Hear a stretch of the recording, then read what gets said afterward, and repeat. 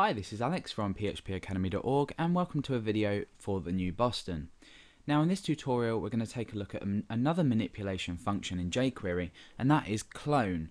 Now we're going to be using the same application that we developed for append and append to, um, or append to rather, because we uh, essentially took a value here and we placed it here using the append to function and that just moved this element inside of here.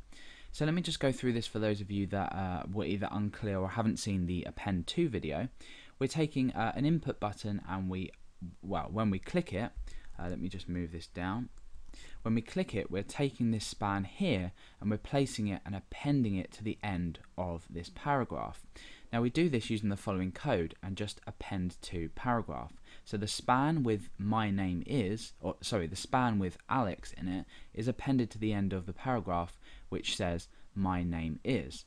Now the problem is here is that we instead of actually just taking a copy of this, we're just moving the element and appending it on. Now to fix this, we can use the clone functionality.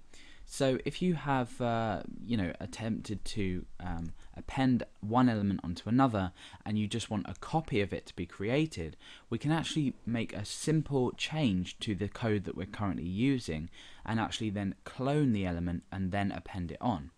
So in fact, what we do is we simply just, um, uh, after our span, we would, we would just say clone and then dot append to.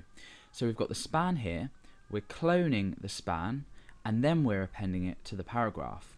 So instead of this happening where we take the element up here and just completely move it to the end of this element, we'll actually receive a copy of the element and then it will just take it and append it onto the end as a copy. So you can see now that using the clone function will clone an element and then append it to rather than just appending to and moving the element altogether.